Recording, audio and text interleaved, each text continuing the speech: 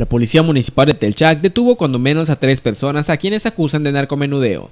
Dos detenidos, padre e hijo, son Carlos Antonio Tunhuicap, alias Greñas, y Carlos Antonio Tun Estrada, alias Chucky. La denuncia la promovió Luis Francisco Luna Uscanga, director de la policía de ese puerto. En otro caso, Ángel Jesús Martínez Cawich, acusado de asaltar a un menor en el fraccionamiento Santa Cruz Palomeque, niega los cargos argumentando que la policía lo detuvo arbitrariamente. Por este hecho también fue aprendido Alejandro Solís Cawich, quien también negó los cargos con diversos argumentos.